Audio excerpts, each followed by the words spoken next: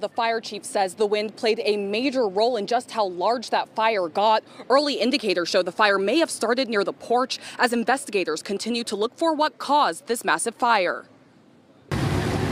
This was a defensive uh, attack right from the start. All that's left of Four Mann Street is its chimney after a five alarm fire broke out, a child noticing the flames first, alerting his nanny and two painters to get out. All making it out safely. We're extremely lucky that the painter didn't die and the child and the nanny.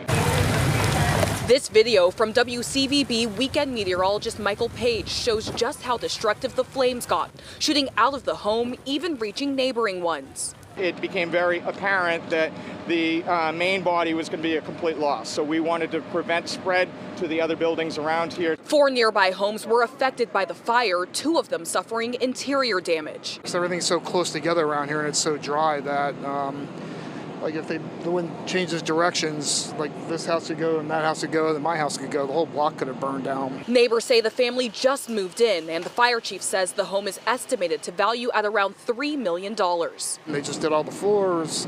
They literally just moved in. So they're a really nice young couple and like everything they have is, is gone. And no firefighters were reported as injured during this fire, and a cause for the fire is still being investigated.